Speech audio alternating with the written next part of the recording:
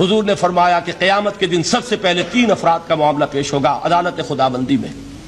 एक वो जो बड़ा आलिम समझा जाता था, उससे बड़ा इल्म फैला।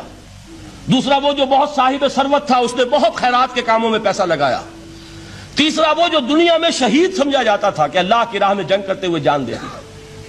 अल्लाह इन तीनों से जो उसको नेमतें दी थी, उनका ज़िक्र करके पूछेगा कि मैंने तुम्हें यह दिया, तुम्हें यह दिया, तुम्हें यह दिया, तुम क्या करके लाए? वो शहीद कहेगा कि अल्लाह, मैंने तेरी राह में जंग की और अपनी जान दे दी, ताकि तू राज़ी हो जाए। अल्लाह फरमाएगा कजबता तूने झूठ बोला। इन न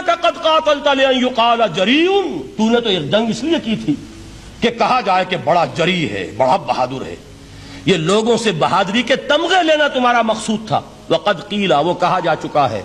अब यहाँ तुम्हारे लिए कुछ नहीं।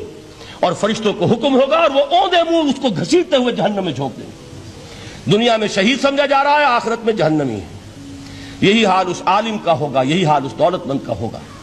तुमने ये इल्म फैलाया था कि तुम्हारे इल्म का चर्चा हो जाए, तुम्हारी शोहरत हो जाए। लोग तुम्हारी दस्तबोशी करने लगे, लोग तुम्हारे तुमसे झुक कर मिले। वो दुनिया में हो गया, तुम्हारा मतलूब मिल चुका, तुम्हारा मकसूद हासिल हो चुका, अब यहाँ कुछ नहीं